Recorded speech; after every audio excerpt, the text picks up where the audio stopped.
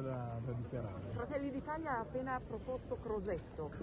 Guardi, stamattina c'è stato un vertice del centro-destra, quindi la strategia la decidono i leader e io adesso devo, devo scappare.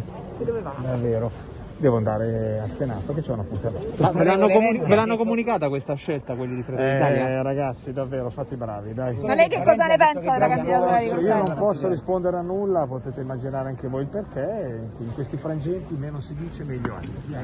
Ciao a tutti, grazie.